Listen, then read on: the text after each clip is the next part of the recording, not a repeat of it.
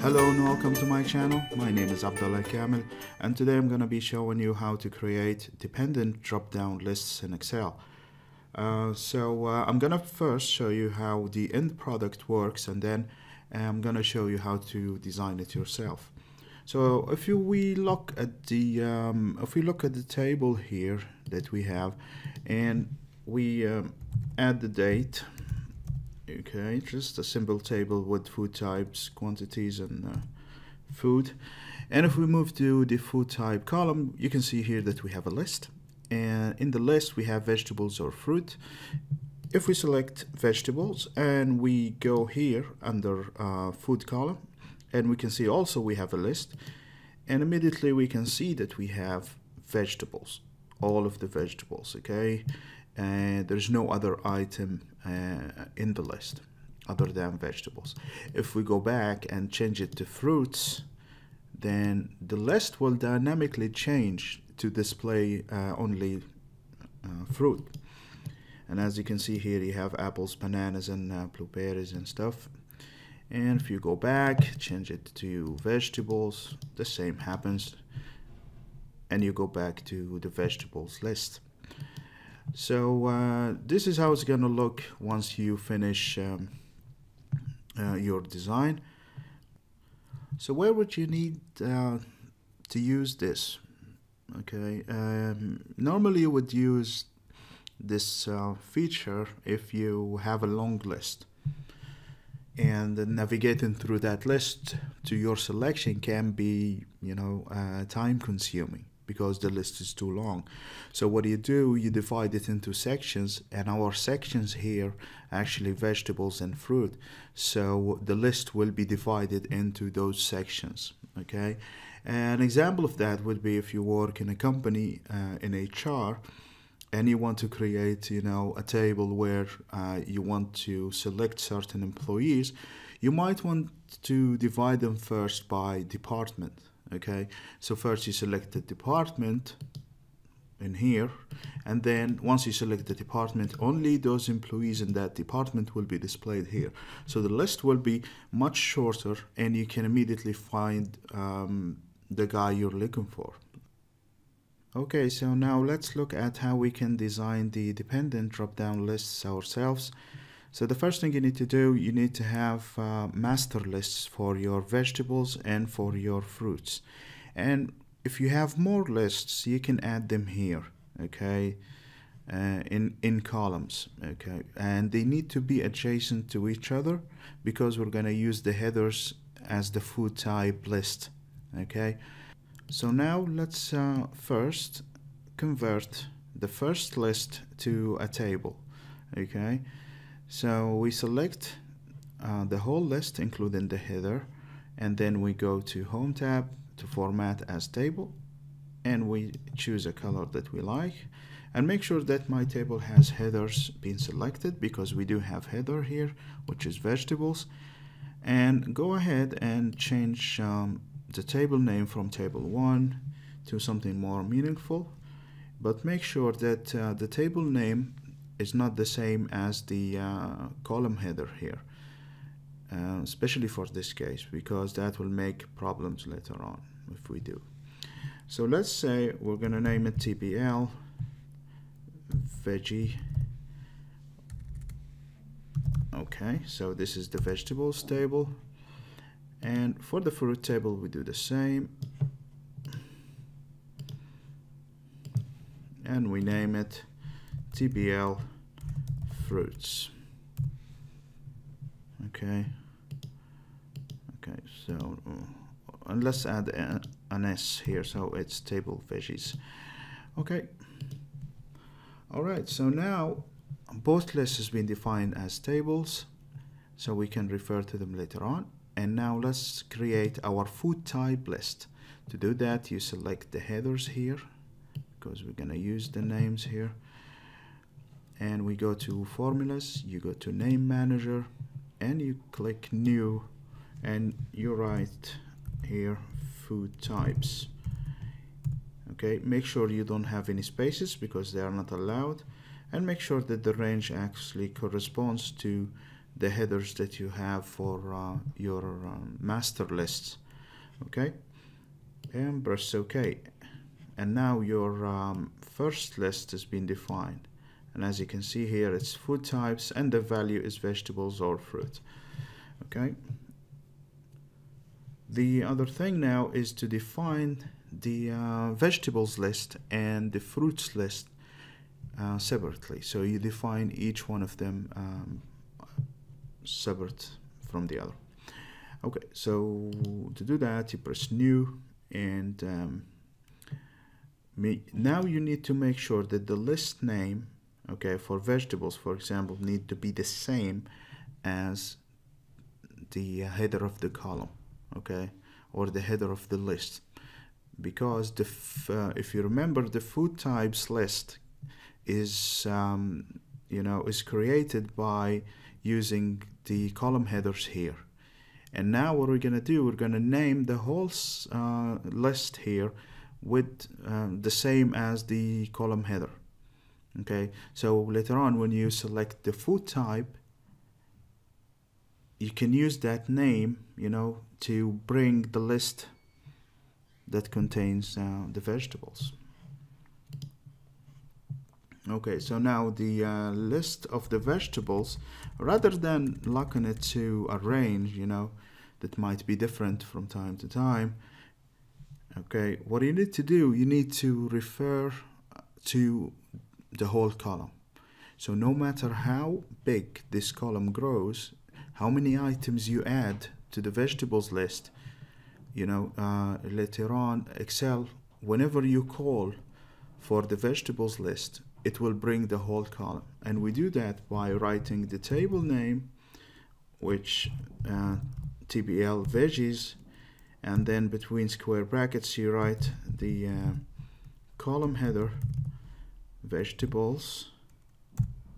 Now you're referring to the column um, of the table here. So no matter how the uh, column grows it will always bring it to you. And this is really useful. Uh, we do the same.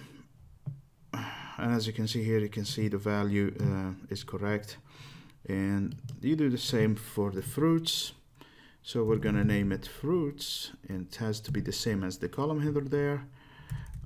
Fruits. And we refer to the column which is TBL fruits. TBL fruits. And now this is the table name and the column name is fruits.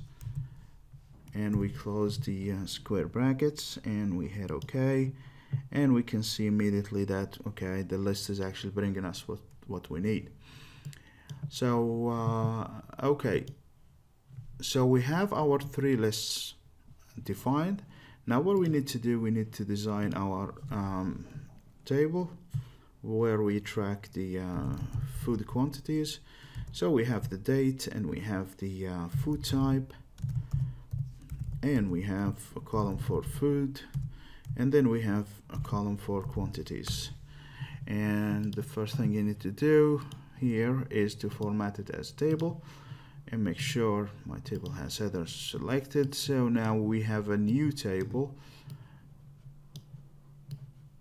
And formatting your range as a table is always a good thing because whenever you add new rows here at the bottom the table will immediately uh, you know uh, expand to um, to contain the new rows that you add and it will also apply any settings that you have in the previous you know uh, row in in the table. So you don't have to drag formulas every time. You don't have to uh, redefine data validations. It will all be inherited you know by the new row. Okay so let's add our date here and let's now define the list here. So rather than writing it ourselves we need the list. For the food types we go to data validation. Rather than allowing any value we allow only a list.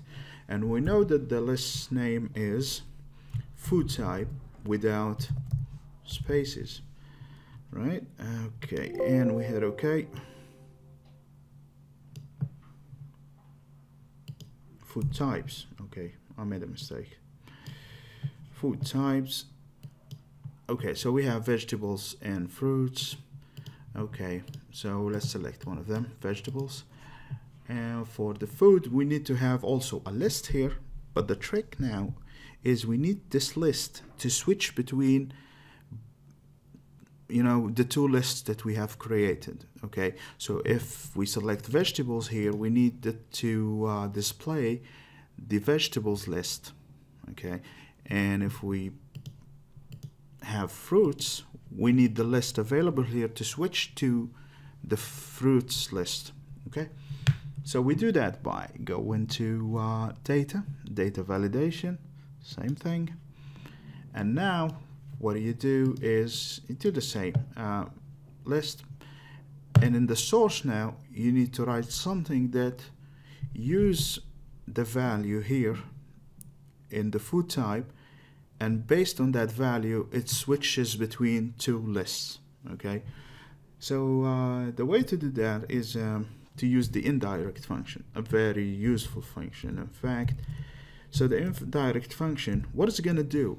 It's going to take the value here under food type and then it's going to ask Excel do you have something called fruits?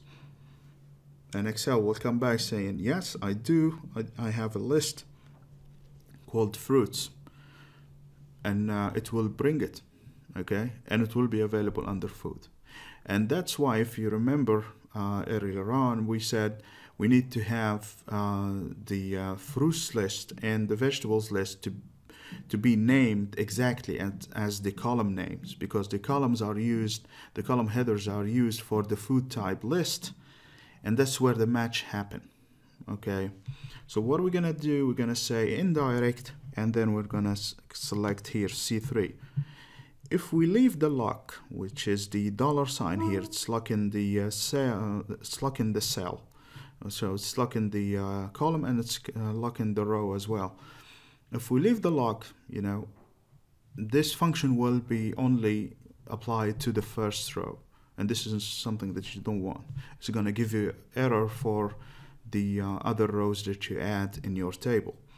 So uh, make sure, and this is a must, that you remove any locks that you have on um, on your cell.